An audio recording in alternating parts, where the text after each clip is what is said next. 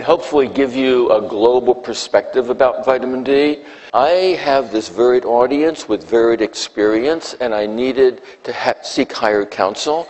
So I went to a doctor that I think you all recognize as being a very uh, expert in many fields of medicine, and I asked him for his advice.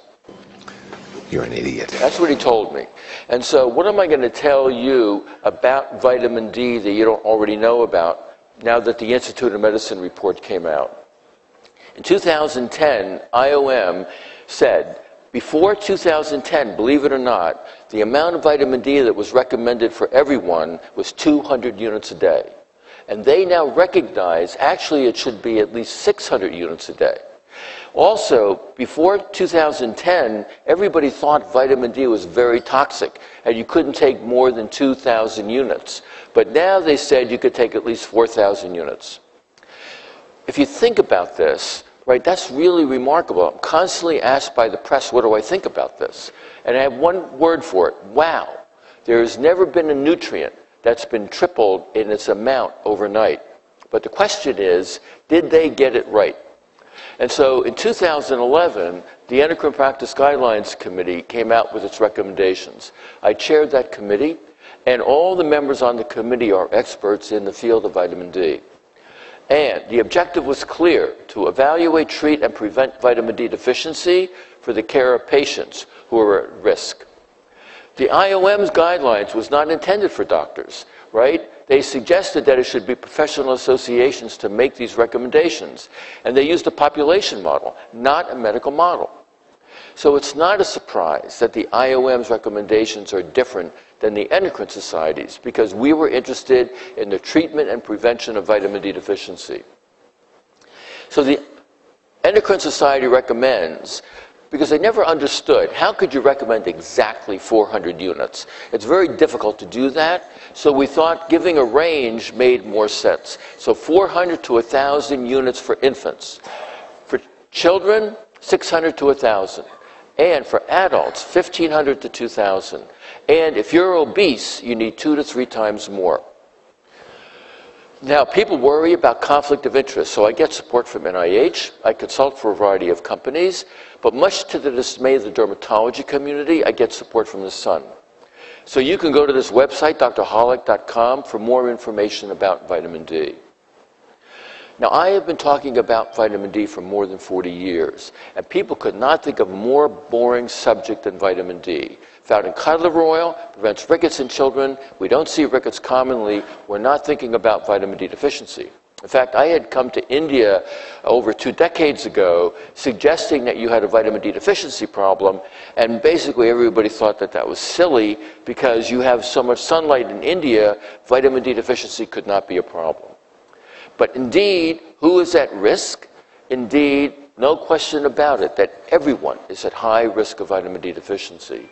He's worried about global warming? No. What's the big deal about vitamin D deficiency? Because really, rickets is the tip of the iceberg. Because a painful bone disease, osteomalacia, diabetes, multiple sclerosis, rheumatoid arthritis, infectious diseases, hypertension, heart disease, common cancers have all been associated with vitamin D deficiency. Indeed, Discover magazine of the 100 top science stories of 07, number 8 came in Can vitamin D save your life?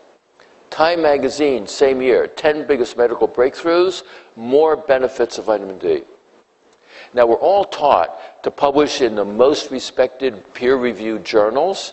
No. Fitness magazine is super vitamin. And if you want to get your teenagers' attention, there's only one place to publish Teen Vogue, the Sunny Vitamin D. What's the message? The message was that the lay press was picking up on all the health benefits of vitamin D. And the patient would go to the doctor and say, Please get me my blood level. And the doctor would refuse. But the patient persists, and now the doctor gets the blood level and finds the patient's vitamin D deficient. Now the doctor's got religion. Now the doctor's ordering it on all their patients. The assay for 25 hydroxy vitamin D is the most ordered assay by doctors in the United States. The Institute of Medicine and the Endocrine Society both say you should not be screening people for their vitamin D status. Most people are vitamin D deficient.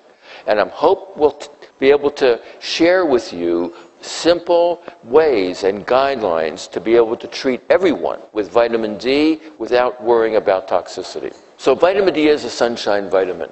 And so, these dark hair Neanderthals, I wonder how they could have survived in a northern European climate. It turns out their DNA showed that they were actually red-headed Celtic. And the driver in evolution for pigmentation disappearing is this. Here's a pelvis of a normal female. This is the pelvis of a female that was vitamin D deficient during, pregnant, during infancy. She would have had a difficult time with childbirthing. And so we showed many years ago in Boston you can't make any vitamin D in the wintertime. So I thought I'd go on safari with my daughter. I could write it off at our medical expenses as a tax deduction, but it doesn't work. But this Samburu warrior, his skin pigment is perfectly designed. So how do you compare and contrast? There's no question that my gene pigment decreased, right, in order for me to make enough vitamin D. How do you make it? So when you're exposed to sunlight, it's the precursor of cholesterol. These double bonds absorb ultraviolet radiation, converting it to vitamin D3. Now, you may wonder if you have a patient on a statin inhibiting cholesterol biosynthesis, does it influence it? It does not, because statins don't get into your skin and it will not influence the cutaneous production of vitamin D. What about sunlight? Will you get too much vitamin D? And the answer is no, because we showed many years ago any excess is destroyed by the sun. You can never become toxic from sun exposure. He's the poster child for vitamin D and for sun exposure. And did you know that when you make it in your skin, it lasts two to three times longer in your body than it does when it comes from your diet or from supplements? So in the 1600s, these children in the alleyways developed classic rickets, growth retardation, skeletal abnormalities. It was two doctors in New York City that showed sunlight could cure rickets. This led to a novel concept. 1931, the US government sent out this brochure Give your baby a coat of tan and have good health. 1931. But in this day and age, right, Mommy, will I make enough vitamin D? But what about skin cancer? And so everybody now worries about sun damage. And so for 40 years, nobody has ever challenged a dermatologist. In fact, if you ever put your child without a sunscreen outside the United States, you could wind up on America's Most Wanted for child abuse. This is the problem. Is it true that we put vitamin D in milk? No, we do not put vitamin D in milk irradiated vitamin D milk. It was Steenbock in Wisconsin, the magic of vitamin D. He showed that if you can irradiate people and animals and prevent rickets, why not irradiate the food? And that led to the fortification of milk with vitamin D and the eradication of rickets. Now, you might ask this question Do you know why vitamin D is so regulated and considered to be so potentially toxic? Is it true that Europe never fortified food with vitamin D? So, why was it that you never fortified food with vitamin D here in India until 2017? This is, turns out that in the 1930s and 40s, in England, in India, custard and many foods were fortified with vitamin D. Even hot dogs were fortified with vitamin D. But Europe forbid vitamin D fortification in the 1950s, and this spread throughout the world, including in India. Question is why? In the 1950s, a few infants presented with high blood calcium, altered faces, mental retardation, and heart problems. The experts didn't know what was going on, but there was great hysteria. What was the cause?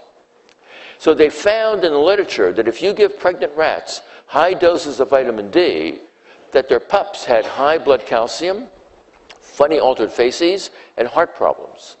So they concluded, without any evidence, that vitamin D intoxication was occurring.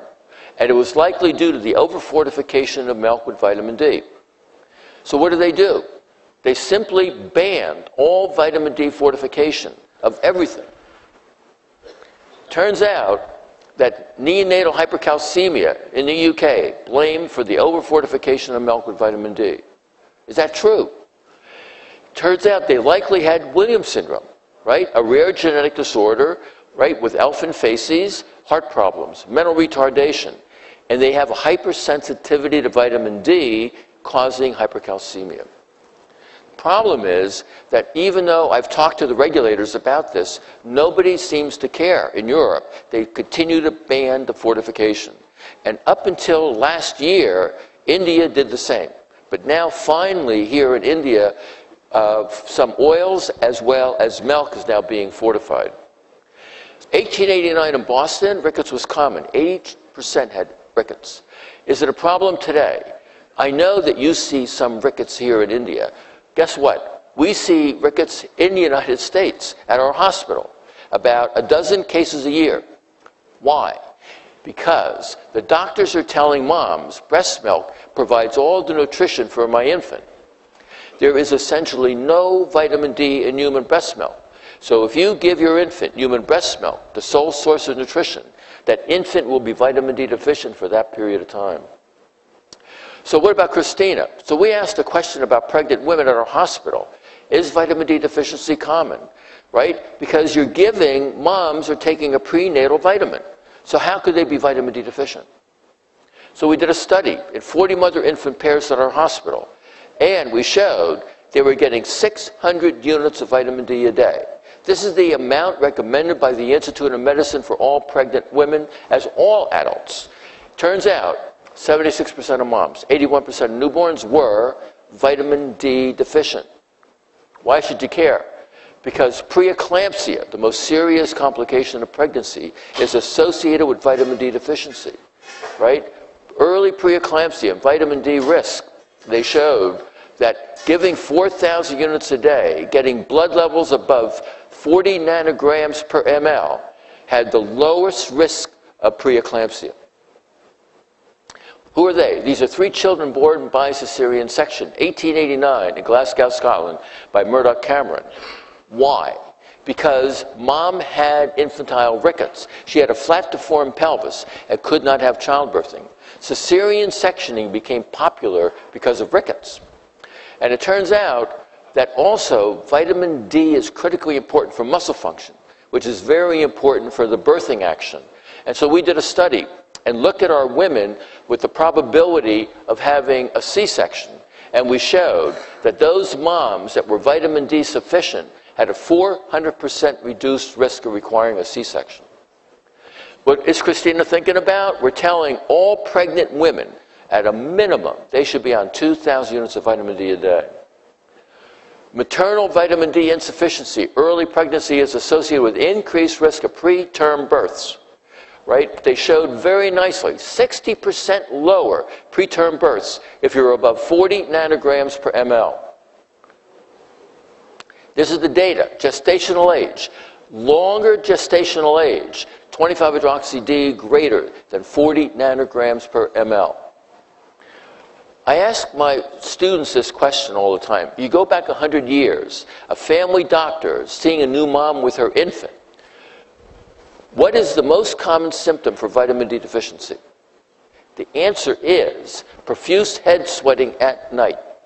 Because vitamin D deficiency increases neuromuscular irritability, including the sweat glands. So, infants who profusely sweat at night is a classic sign for vitamin D deficiency. And vaginitis during the last trimester is also associated. How much vitamin D does a mother need to provide vitamin D in her breast milk? A study was done by Bruce Hollis and Carol Wagner 6,000 units a day. Now you may say, my heavens, this guy Holick is crazy about vitamin D. But we now realize that our hunter gatherers outside every day were making thousands of units of vitamin D. It makes no sense that human breast milk should not have enough vitamin D for their infant. It's mainly because we're not getting enough vitamin D. So 6,000 units a day to lactating women works well and it will not cause toxicity. But pediatricians have been concerned about intoxication. And so, how much do infants need? Need vitamin D at birth. And even now in India, they recommend all infants should be getting 400 units of vitamin D a day from birth. In Canada, they recommend up to 800 units, and pregnant lactating women, 2,000 units a day. So, is vitamin D rare in foods? So, even in the United States, where milk and other foods are fortified with vitamin D, no child or adult can get enough vitamin D from dietary sources. Right? Dairy in the United States has 100 units in a serving.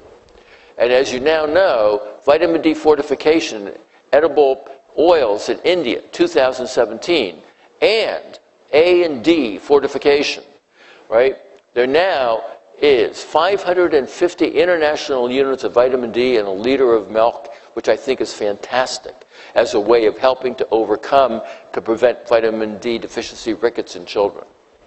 But mushrooms turn out to be a superb source of vitamin D, but only if they're exposed to sunlight. Sun dried mushrooms have a good high content of vitamin D. So back in the 40s and 50s, children used to line up for cod liver oil because it tasted so good. And we don't do this anymore. And it comes in tablets and oil and emulsion. And it realized that I recommend some sensible sun exposure. And I'm constantly interviewed by the press. And then they talk to a dermatologist, say, don't listen to this guy Holick, you just have to eat more fish. Well, how much do you have to eat? It's not a pretty sight, right? And so these sailfish, this is my son, Michael, they don't have any. And it turns out that these rooster fish, they don't have any. It's only oily fish, salmon, mackerel, herring. And you have to eat it every day to get enough vitamin D.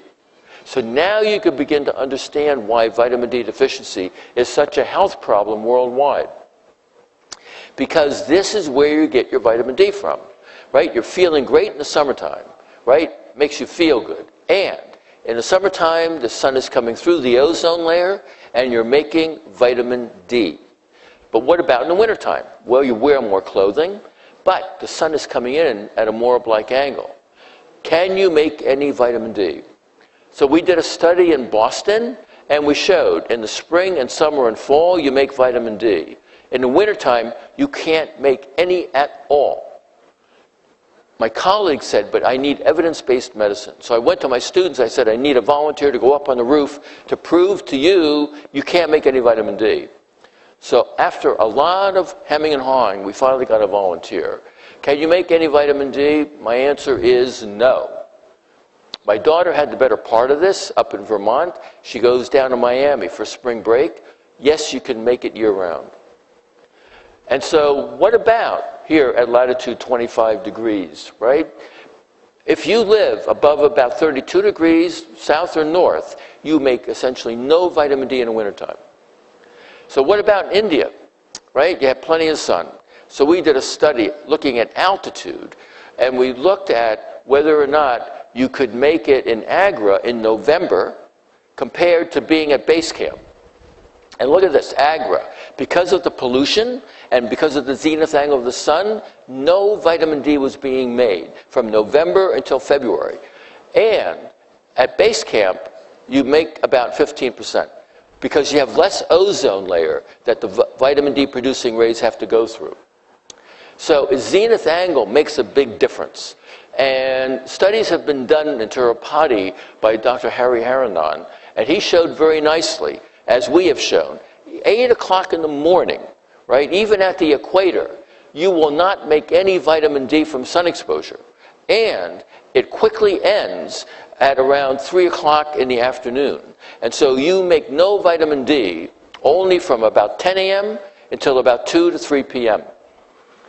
And so we're always taught to go out in the early morning to make your vitamin D. It's less damaging for your skin. You make no vitamin D right? It's great for romance, but you make no vitamin D, right? 10 a.m. until 3 p.m. Now that's the time you're all working. That's the time our children are in school. Another reason why vitamin D deficiency is so common. So, no question, excessive exposure can damage your skin and increase risk for non melanoma skin cancer. So there's an evolution. Think about beachwear. 50s is the two piece, 70s is the one piece, new millennium is lots of sunscreen, a lot of clothing. So, what about putting sunscreen on? What is its impact on vitamin D synthesis? SPF of 30 reduces your ability to make vitamin D in your skin by 95%. 90 to 95% of your vitamin D is coming from sun exposure. Right? How much? Never want to burn? Can't look like this. Coming from New England, of course, can't look like this. But early in evolution, we knew exactly how long to stay outside, to go back into the shade, but we lost that ability about 10,000 years ago. So this shows very nicely. How do you know when you make enough vitamin D? These little poppers used to pop out of your belly button. That doesn't happen anymore. So we did a study. And we took healthy adults and put them in a tanning bed for one minimal erythemal dose and gave them an oral dose of vitamin D. So one minimal erythemal dose is equivalent to 20,000 units of vitamin D. So your body has a huge capacity to make vitamin D. About 1,500 to 2,000 units if you have 15 to 20% of your body exposed. Now, why is she screaming? Because on the internet it says if you go out in the sun and then you go immediately and bathe, that you wash off the vitamin D on your skin. It's not true because you're making it in the living cells. So please, you can bathe after you've been out in the sun and sweating. You will continue to keep your vitamin D. So, does it really provide you with your vitamin D? A study in Denmark showed very nicely for all ethnicities that your peak blood levels are at the end of the summer and the nadir is at the end of the winter. Now, what about aging? So, we showed many years ago that yes, burns at the age of 70 has a 75% reduction compared to a healthy child or adult. So, the question is can you still make any? The skin has a huge capacity to make vitamin D. And so when we took elders and exposed them to sunlight, just like Ian Reed, we showed very nicely 30 minutes or 15 minutes raise the blood levels of 25 hydroxy vitamin D. So elders can definitely be exposed to sunlight, right? The higher your BMI, lower is your blood level of 25 hydroxy vitamin D. And so we did a study and we showed that if you take a normal weight person or an obese person with BMI of greater than 30, that it only raises their blood level by about 45%, whether exposed to sunlight or taking an oral dose of vitamin D. And the reason is simple. Vitamin D is fat soluble. It gets diluted in your body fat. And so we did a study and we showed that vitamin D is high content in body fat. And that's the reason why obese patients need two to three times more vitamin D to satisfy their requirement. Right? What about bypass surgery patients, right? They lose 50 kilograms or so of fat. What's happening to their vitamin D level? It doesn't change. Right? Skin pigment is a natural sunscreen. And so he would have to be outside five to ten times longer than his girlfriend in order to make the same amount of vitamin D. So now you may ask the question so people of color, right, they have vitamin D deficiency. Do you have to give them more vitamin D? And the answer is no. Everybody needs the same amount of vitamin D to both treat and prevent vitamin D deficiency. So, no, you need the same amount as a Caucasian. How do you know your vitamin D status? So doctors, I think, know, right, is to order 25 hydroxy vitamin D. Normal range, of course, is 20 to 100. But docs actually don't have time to look at numbers. They look, is it high, is it normal, or is it low? So at the end of the summer, patients come back at our hospital with a high. And my, my primary care doctors say, oh my heavens, are they vitamin D toxic? And I say, you know, I see lifeguards in my clinic, not so much the Baywatch babes. They're at 110. Are they intoxicated? I don't think so. You don't have to worry about intoxication till you're over 150 nanograms per ml. So, what about the low range? What evidence is there that 25 D should be greater than 30 for better, better health? We did a study throughout the entire United States of postmenopausal women, and we looked at their 25 hydroxy vitamin D levels and PTH levels. They plateau at around 30 nanograms per ml. You have a three times higher risk of having secondary hyperparathyroidism if you're at 21 compared to greater than 30 nanograms per ml. So, the normal range, 20 to 100, the Endocrine Society says the preferred range is 40 to 60 nanograms per ml.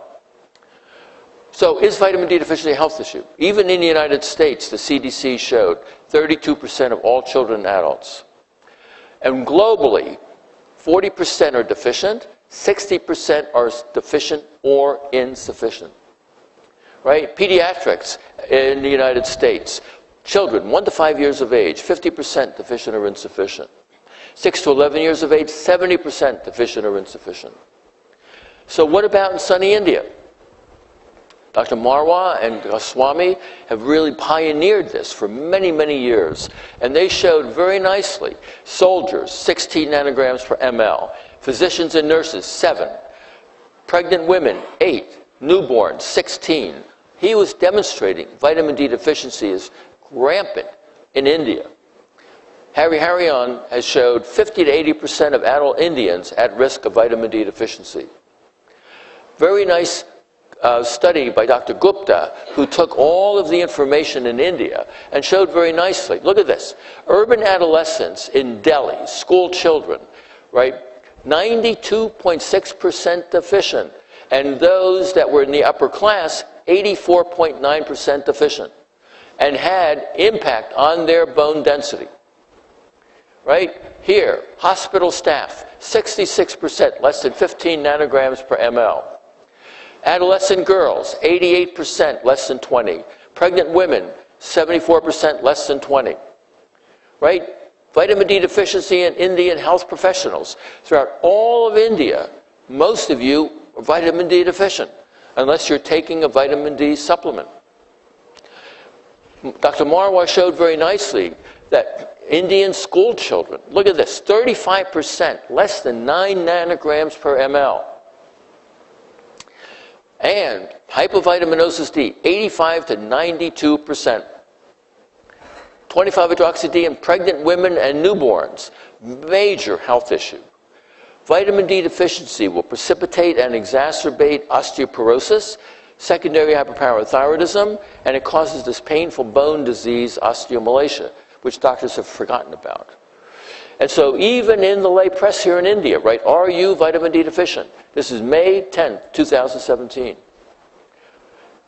So, does vitamin D really reduce your risk of fractures? There was a recent meta analysis saying that vitamin D has no benefit to your bone health and doesn't reduce risk of fractures. That's a meta analysis, and the meta analysis, in my opinion, was not done well because many of the studies that they used in the meta analysis were poorly controlled.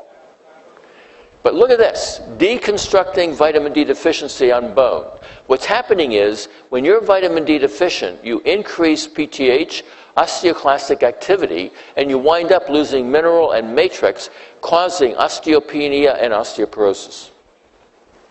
This is healthy bone. And this is what's happening cavitation of your bone due to increase in osteoclastic activity. Vitamin D deficiency induces early signs of aging in human bone, increasing risk of fracture. Vitamin D deficiency will precipitate and exacerbate osteoporosis. Here is normal healthy bone. This is a three dimensional electron microscopic analysis. You see all these red lines here? This is a deficient, healthy young adult. all of those are cracks in the skeleton. These are micro cracks in the skeleton, putting that person at higher risk of fracture later in life. Vitamin D deficiency in India, prevalence, causality, and interventions.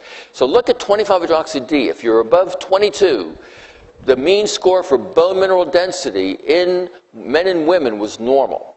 But if you were less than 10, you had osteoporosis. And 15 and 16, you had osteopenia. So vitamin D deficiency and insufficiency does have a significant role to play in bone health in India. So osteoporosis, as you know, is a silent disease, but osteomalacia is not so silent. And so, curiously, your aches and pains always occur in the wintertime. I wonder why. Right? Classic signs are generalized bone pain, isolated bone pain, muscle aches and pains. The nouveau diagnosis, of course, is fibromyalgia. But if you go back 100 years, a family doctor would have made the diagnosis of osteomalacia. Most of these patients have osteomalacia, bone pain, throbbing, aching bone pain. You press on their radius or ulna or tibia or sternum and they wince in pain and you think it's a trigger point? No. It's a classic sign for vitamin D deficiency osteomalacia. Growing pains in children have been associated with vitamin D deficiency. Mayo Clinic proceedings. Right here are 150 children and adults with bone and muscle pains. 93% were vitamin D deficient. Right? 23 year old female shows up with weakness, fatigue, bone pain. Given this diagnosis of dysthymia, being depressed, and sent home. Asian female, same thing. This black male, he lucks out because he was put on a narcotic and sent home. They were all vitamin D deficient. Right? 78 year old male shows up with muscle weakness, atrophy, denervation. Positive EMG and nerve conduction study for ALS. But his primary care doctor noted he was vitamin D deficient and treated him. And guess what? He showed up to the neurologist and found that all symptoms resolved because progressive painless muscle weakness with muscle atrophy, which manifests like lower motor neuron disease, improves after vitamin D supplementation. So vitamin D is not treating ALS, but vitamin D deficiency can present like ALS symptoms with severe neuromuscular problems. Now, he didn't have to use steroids because we've always known, like I said, that vitamin D deficiency causes proximal muscle weakness. Even a study in Europe showed maximum physical performance in elders level around 30 nanograms per ml. Muscle function improved. And we did a study in Boston and showed in a nursing home 72% less falls on 800 units of vitamin D a day for five months. No benefit of 600 units of vitamin D a day. So he's constantly complaining to his dog, My bones and muscles ache. The dog told him, Stupid, you're vitamin D deficient. So, how do you treat vitamin D deficiency? Right? You want to make sure that everybody gets to 30 nanograms per ml for good bone health, for muscle function, and less likely to fall, less likely to fracture. So, how do you treat this? Well, you could certainly give a multivitamin, but you can only take one because you're going to get too much vitamin A. And so, when you're going to your gas station to get a liter or a gallon of gas, no, you fill the tank up. So we were the ones that started and published in Lancet in 1998 the concept of giving 50,000 units once a week for eight weeks. And so doctors are now doing that, right? So you have here 60,000 units. It's the same thing, right? Once a week for eight weeks. It's equivalent to taking about 6,500 units of vitamin D. But now the doctors don't know what to do right? They put them on 1,000 units or they put them on 400 units, and the patient comes back again vitamin D deficient. Why? Because you're not correcting their D deficiency problem. So, what I do for my patients is I put them on 50,000 units once every two weeks forever. That's equivalent to about 3,300 units of vitamin D a day. So you may ask, right? Because it, it can be complicated. If you have a patient that's vitamin D deficient and you're giving them vitamin D for eight weeks, they have to come back again. You have to measure them, and now you have to tell them to take it every two weeks. You don't need to do that. All you have to do is simply give all of your patients 60,000 units every two weeks. You don't need to measure blood levels, and you don't have to worry about following them. They will be perfectly fine. And I'll show you the data to prove that. Indeed, you may say, though, but wait a minute. We were taught in medical school vitamin D is fat soluble. And so it's going to start to store up in your body fat. So maybe a year or two from now, if you did this, the patient's going to be toxic. Well, Einstein, he worried about this as well. So we did a study, because I've been doing this for two decades, treating my patients with this amount. And we published a paper and showed that after six years, uh, 50,000 units every two weeks, they were perfectly fine. In fact, their blood level plateaued at around 40 nanograms per ml. It's equivalent to taking about 3 to 4,000 units of vitamin D a day. So, can you give 60,000 twice a month without screening for 25 hydroxy D? The Endocrine Society practice guidelines said yes, you can give it, even if you're starting out at blood levels at these levels. because we published a paper and we showed that treatment of 50,000 units of vitamin D every other week was effective in a clinical setting without monitoring their baseline and without monitoring them over time. And here are the data, right? Treatment program is appropriate and effective strategy to treat and prevent vitamin D deficiency. 50,000 units twice a month for six years. No baseline measurement, no screening, right? Some of them started out at 50. All they did, we went up to 80. There was no toxicity. Nobody in your practice is going to start out with a 50. And so you can feel very comfortable in giving all your patients 60,000 units every two weeks and not worry about the treatment, not worry about if their level is 5 or 15 or 30. We give our patients always the same amount of vitamin D, and they get to about the same level, about 40 to 60 nanograms per ml. Turns out that you do not need to screen your patients. What about toxicity? We showed many years ago with Bob Heaney up to 10,000 units a day is perfectly safe. Right? And in Canada, I participated in a study from Pure North. 20,000 units of vitamin D a day, levels around 60 nanograms per ml. Right? The upper limit is considered to be 100. So vitamin D is not as toxic as we once thought. What about infants and children? And so a study was done at Children's Hospital in Boston, and they showed infants and toddlers could get 2,000 units a day or 50,000 units a week for six weeks was perfectly safe. Right? What about pregnant women? So Bruce Hollis showed 4,000 units a day throughout pregnancy. Right? I know in India they say you shouldn't do for the first trimester. You should definitely do it for the first trimester. And in fact, 4,000 units a day gets them at a level that reduces risk of preeclampsia as well as poor birth outcomes and poor gestational age. Look, serum calcium in these pregnant women, normal. Urinary calcium, no change. But can you become toxic? So I got a phone call one day from a lawyer. This is in the 1990s. And he calls me up at 7 in the morning and he said, Are you Dr. Holick? I said, No. Why would I want to talk to a doctor at 7 o'clock in the morning? I mean, a lawyer. And he said, I know you're Holick because you're only one there at 7 o'clock in the morning. I said, okay. He said, I'm going to sue you. Because back in the 1990s, even in the United States, you could not find a vitamin D supplement on the market. And so he went on the internet and he bought this product called Pro Longevity, a thousand units in a teaspoon. He took two teaspoons a day for a year. I told him, before you sue me, send the stuff up, we'll do an analysis for you, and we did. The company forgot to dilute it. He was taking pure crystalline, two teaspoons of vitamin D. He was taking a million units a day. This will cause vitamin D intoxication. We published him in New England Journal of Medicine, calcium of 15, total D of 500.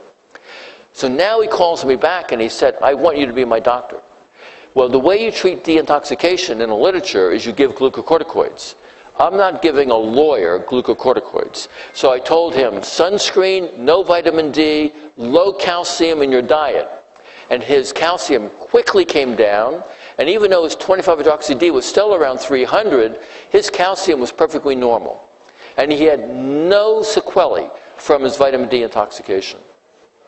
It's difficult to become vitamin D intoxicated. So, what about the bioavailability of vitamin D? So, do you need to take it with fat? Can you take it on an empty stomach? My patients are asking me this question all the time.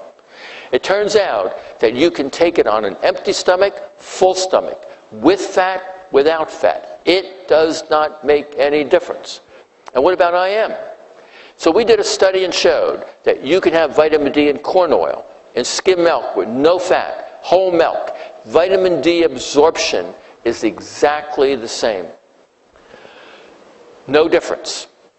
And so, what about IM? Is it bioavailable? And it can be painful. But certainly, for patients that you may not see again for six months or a year, it's a wise thing to give them 600,000 units intramuscularly.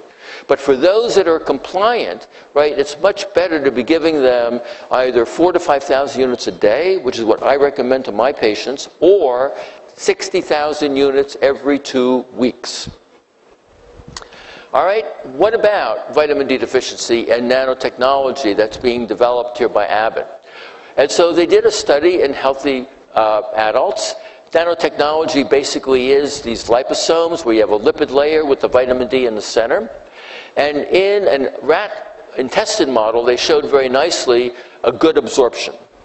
And when they did a human study, they could show very nicely the nanoparticle base that after four weeks they could raise their blood level to about 40 nanograms per ml that was sustained. Dr. Marwaha had done a very similar study in school children and looked at micellized versus fat soluble vitamin D. And he showed very nicely that children on micellized raise their blood levels to 31, those on regular vitamin D only to 23 nanograms per ml. So there may be some benefit from this new type of formulation. Now, why should you care about the vitamin D story? Well, part of the reason is that, as you know, once you make vitamin D in your skin, it goes to your liver and kidneys and gets activated. And every tissue and cell in your body has a vitamin D receptor. Why would they be there if they weren't having an effect? Indeed, what other functions?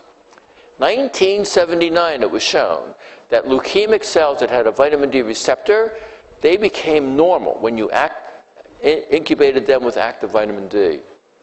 So, what about vitamin D in cancer? There's a lot of evidence linking sunlight deficiency with increased risk. Garland Brothers showed 50% projected reduction on 1,000 units of vitamin D a day of colorectal cancer. We did a study in the Nurses' Health Study. To get at this blood level for nurses, you would have to be on at least 4 to 5,000 units a day. It reduces their risk of breast cancer by 50%. In Nebraska, a study showed 1,000 units a day, women that were taking calcium and vitamin D and had a blood level of 30, if you increase it to 40, it reduced their risk of all cancers by 60%. Possible connection. Well, you might act, realize that activated vitamin D inhibits cancer cell growth. So, therefore, if you took a lot of vitamin D, exposed to a lot of sunlight, your kidneys are cranking out this anti cancer agent. No, it doesn't work that way. The kidneys produce active vitamin D for one purpose only to regulate calcium and bone metabolism. And that was a real conundrum. We couldn't understand what was happening. And then in the 1990s, working with Gary Schwartz, we showed that prostate, colon, breast, and many other studies have shown can activate vitamin D locally, regulate a whole host of genes, and then it destroys itself so it never gets into the bloodstream. So it acts in a true autocrine paracrine fashion. Up to 2,000 genes are directly or indirectly regulated by active vitamin D. What about your immune system? Activated macrophages activate vitamin D. We know that, right? Sarcoid, TB patients. Vitamin D protects against tuberculosis. And so, science in 2006, they showed, Modlin and Adams and Dr. Liu, that when you infect the macrophage with T, toll-like receptors are turned on to tell the cell to activate vitamin D. Why? It kills infectious agents. That's why it's very likely solariums were so effective for patients with TB. Right? The flu season always comes in wintertime. There's a seasonal stimulus. Why? At the peak flu season is when your blood levels are at their lowest for vitamin D. A study done at Yale showed that healthy adults with a blood level around this range, so this would be requiring 3,000 units of vitamin D a day, it reduced risk of upper respiratory tract infections twofold. Right? Influenza in school children. School children taking 1,200 units of vitamin D a day during the winter reduce risk of influenza A infection 42%. Type 1 diabetes. If you live at the equator, you are much, much less likely to get type 1 diabetes than if you live far north and south of the equator. A study done in Finland showed that almost 11,000 children in Finland, infants, 2,000 units of vitamin D a day for the first year of life, followed for 31 years, reduced their risk of type 1 diabetes by 88%. Right? Look at this. In Finland, they worried about toxicity, so they went from 4,500 to 2,000, and then to 1,000, and then to 400. Look at the incidence of type 1 diabetes on the rise in Finland as a result of stopping the vitamin D supplementation. What about other evidence? Your beta islet cells have a vitamin D receptor, and active vitamin D will stimulate insulin production. So it's not a surprise that metabolic syndrome, type 2 diabetes have been associated. Indeed, the National Health Survey showed that if you increase your calcium and vitamin D intake, relative risk reduction 33%. And a very nice study done here in India showed vitamin D significantly improved vitamin D status and also improved insulin sensitivity. The key points were improves insulin sensitivity, especially in centrally obese men and women. If you live above that magical latitude of about 32 to 35 degrees, for the first 10 years of your life, you have 100% increased risk of developing multiple sclerosis for the rest of your life. We know from the Nurses' Health Study, nurses that had the highest intake of vitamin D reduced risk of multiple sclerosis 41%, rheumatoid arthritis 44%, and osteoarthritis has been associated with vitamin D deficiency. So, what about heart health? we've always known that you have a higher risk of dying of cardiovascular disease. 24 and 39% reduced risk of dying of cardiovascular disease in the summer compared to the winter. Your, your blood uh, cholesterol levels are lowest in the summertime. Your blood pressure is lowest in the summertime. And the higher the latitude that you live, higher is your blood pressure. So we did a study, and we took healthy adults with hypertension and exposed them to UVB, making vitamin D, or UVA. So we put them in three times a week for three months. And we showed UVA, no change in blood level. UVB, increase 180%. UVA, no change in blood pressure. UVB, 6% drop. Also, when we looked at the UVB effect, which we published in Lancet, we showed that even after you stopped the irradiation, because we improved their vitamin D status, they remained normotensive. Also, peripheral vascular disease from the National Health Survey showed 80% reduced risk if you're above 30 nanograms per ml. Heart failure is associated with vitamin D deficiency. What are the mechanisms? Turns out that over 200 genes are regulated in the cardiovascular system for decreasing atherosclerotic plaque formation, controlling blood pressure, and cardiomyocyte function. And so, in circulation, from the Framingham Heart Study, they showed that if you have a blood level of less than 15, you have a 50% higher risk of having a heart attack. And You've heard this recently, right? Because my patients are coming to me. I heard that taking calcium supplements increases cardiovascular calcification. Read the paper. It's a meta analysis. Terribly done, in my opinion. And what did they do? They excluded women, for example, that were taking more than four grams of calcium a day. Well, who in their right mind is taking four grams of calcium a day? They showed a very nice study, the Nurses' Health Study showed almost 75,000 nurses, 29% reduction in cardiovascular disease who took their calcium and vitamin D.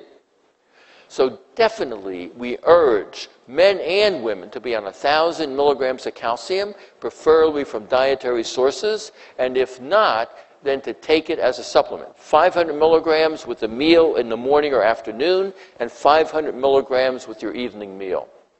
Now, what are they thinking about? Tell you what, what are the consequences of vitamin D deficiency for teens? From the, nurse, from the health study out of the United States, 50 million teens at risk.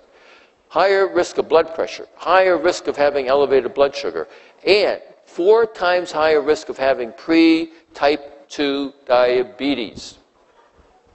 We did a study in Georgia in teenage African Americans. So, very similar to here in India. They had a blood level of 11 nanograms per ml. And it turns out that 400 units raise their blood level quickly to 24. We know this, by the way, right? That you may have seen this happen. Is that if you have a patient that has five nanograms per ml and you give them a couple hundred units of vitamin D, they will rapidly raise their blood level to about 15 to 20 nanograms per ml. But once you get there, now you have to give much more vitamin D to continue to raise that blood level. So when we gave that amount, that's what their level was. So they were still insufficient. When we gave these teenagers 2,000 units of vitamin D a day, we raised it to 34. And these teenagers had significant decrease in arterial wall stiffness, right? The prelude for hypertension for them later in life. One of my messages is going to be very clear. Vitamin D is not to treat chronic illness, right? What you want to use vitamin D for is to prevent chronic illness. And this demonstrates it very clearly. These children are likely to become hypertensive later in life. And if you give them vitamin D, it's quite possible you could prevent that from happening. So, vitamin D supplementation and mortality 7% reduced risk. Here in Germany, 25% reduced risk of all cause mortality. Meta analysis showed that you continue to decrease risk for mortality, and around 40 to 50 is your benefit, maximum benefit. To 70 is perfectly fine. But the Institute of Medicine said, no, that's not true. So even the Institute of Medicine recognized that if you're vitamin D deficient, you are more likely to die, especially of a cardiovascular event. But they said but if they looked at the literature, they said if you went above 30, that you started to maybe increase risk. This is what's called the U or J shaped curve, right? And it turns out this is one of the studies that they used, right? So there was a lower risk of mortality of 30 to 49. Only above 50 was there maybe an increase in women. There was a decreased mortality, 30 to 49. But yet the Institute of Medicine used that reference to say above 30 increases your risk. But that's not the question to ask. When looking at these meta analyses in particular, is who has a blood level of 50? Well, one possibility, of course, is that maybe they're being treated for vitamin D deficiency. And we did a study in the United States.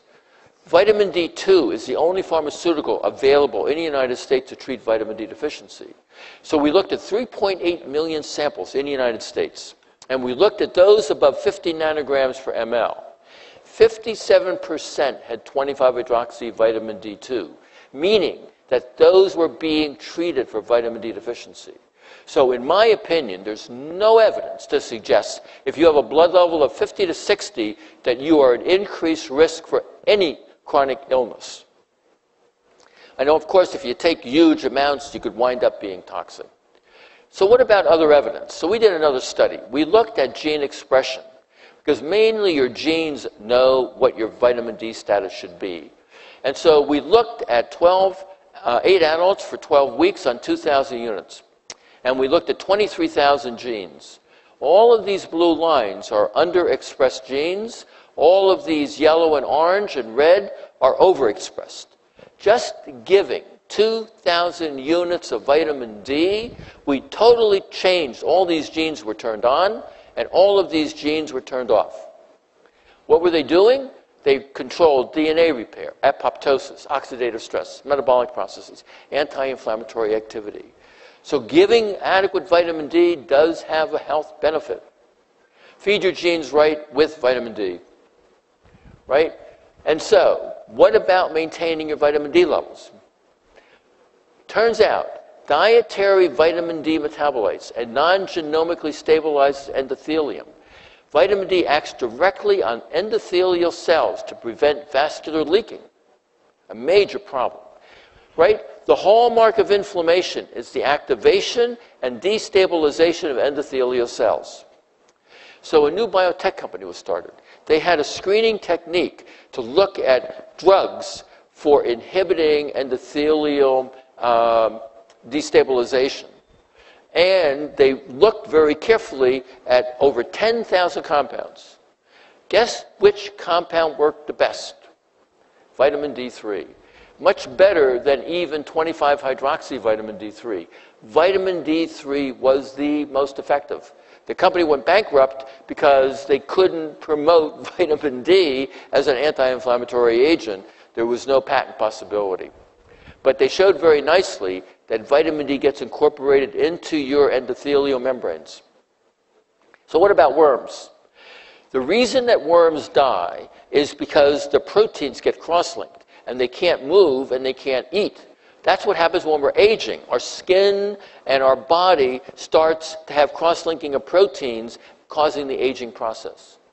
And so, a study done in uh, California showed that vitamin D promotes protein homeostasis and longevity in worms. Vitamin D prevented age dependent accumulation of insoluble proteins and enhanced their life. So it turns out that we think now maybe vitamin D has an independent biologic effect for health.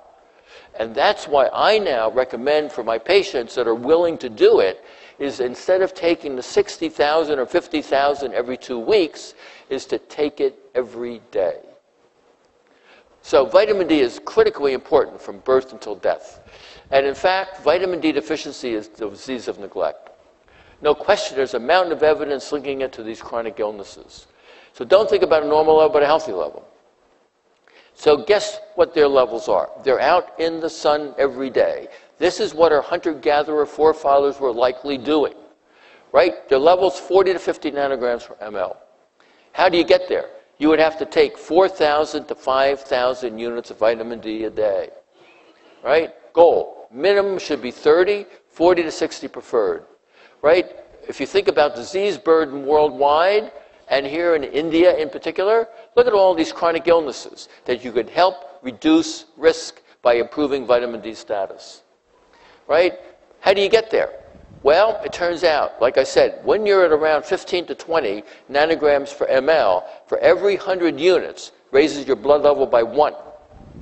And so, if you're in that range, a thousand units of vitamin D a day will not work.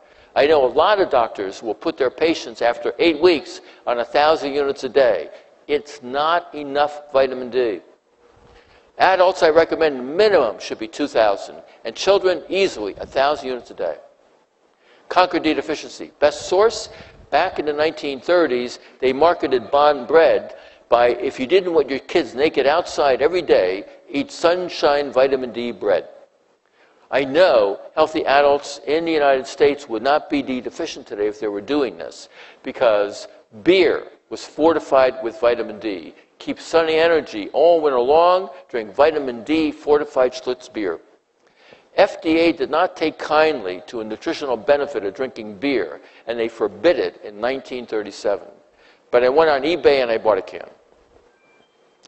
Look, Johnny, a spot of sunshine and play in it, 1953, and get your vitamin D.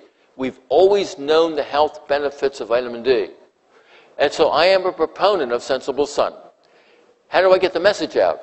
So I wrote a book called The UV Advantage in 2004. And I did not want to be controversial. I said on the first page, I do not advocate tanning. Right? And I, yes, excessive exposure will increase risk for non melanoma skin cancer. But everybody worries about melanoma. Most melanomas occur on the least sun exposed areas. And occupational sun exposure decreases risk right? There it is. Exposure lifetime to sun is associated with a lower risk of malignant melanoma, Journal of Investigative Dermatology, 2003. This is our ancestors' view of the sun. It's a little bit different than dermatologists. Dermatologists tell you always wear sun protection.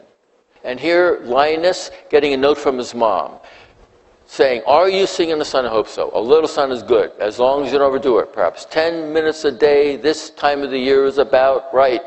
He was right on target. No question. Right? Moderation is the recommendation. Indeed, this is what's happened to our sun. It's been demonized for more than 40 years. Right? Slip, slop, slop message in Australia 40% of Australians are vitamin D deficient. Who's that? That's an Australian dermatologist on vacation. Right? they did an analysis. 87% were vitamin D deficient. Right? Vitamin D deficiency is associated with schizophrenia, as well as depression, dementia, and Alzheimer's disease. Right? Your brain has a vitamin D receptor, and it responds by improving serotonin.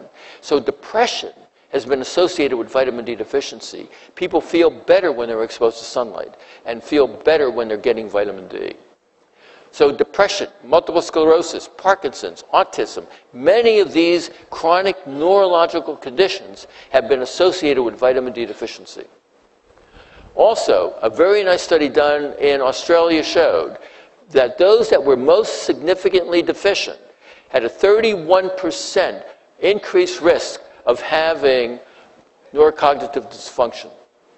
A study done here in India showed vitamin D supplementation caused significant improvement in cognitive performance in subjects with senile dementia. You've been taught this. You can get all nutrients from your diet. You cannot get enough vitamin D from your diet. So, what do I do? Well, I think the best source, of course, is sunlight. And even the World Health Organization, look at this. They now say sun provides warmth, enhances the feeling of well being. Some UV is for the production of vitamin D. Right? There's no doubt a little sunlight is good for you. That's a major turnaround by the World Health Organization. They used to consider sunlight to be a carcinogen only. So, how much sunlight should you have? Right? Time of day, season of the year, latitude. Here in Calcutta, how long should you be outside? What should you do? There's only one thing to do, right? Develop an app. We did. So you can go to this app, dminder.info. It's free on your Android and iPhone. It'll tell you here in Calcutta or anywhere in India when you can make vitamin D, how much vitamin D you make, and it'll tell you to get out of the sun so you don't get a sunburn. What do I do? Always wear sun protection on your face and maybe top of your hands. But the rest of your body is perfectly fine. It will not increase skin damage. Right? And I, like all my family members, I take about 5,000 units of vitamin D a day. I love to be outside in the summertime. I still take 5,000 units of vitamin D a day. It will only raise your blood level by another two or three or four nanograms per ml from the sun exposure because your level is at such a good level. My level is 62 nanograms per ml. Right? 60,000 IU twice a month is, in my opinion, ideal for all your patients. You don't need to screen them, and you don't need to follow their blood levels. It's simple and cost effective. Right? So, can we get some vitamin D from the sun? Absolutely. But you still need to take a supplement of at least 2,000 units of vitamin D a day, even for these healthy young adults in Jordan, right, getting a lot of sun. Vitamin D deficiency is probably the most common medical condition worldwide. If any one of these chronic illnesses turn out to be associated, there's no downside to increasing your vitamin D intake. You don't need to be a genius to know this. We need sensible sun and vitamin D supplement recommendations. It's not a hypothesis, right? So, should you be screening everybody? I hope we have convinced you no. But if you are obese, malabsorption, if you're on glucocorticoids, if you have TB or sarcoid, then yes, you need to follow these patients. I wrote a new book called The Vitamin D Solution. You can get it on Amazon.com. And yes, vitamin D can improve your health. And I thank you for your kind attention.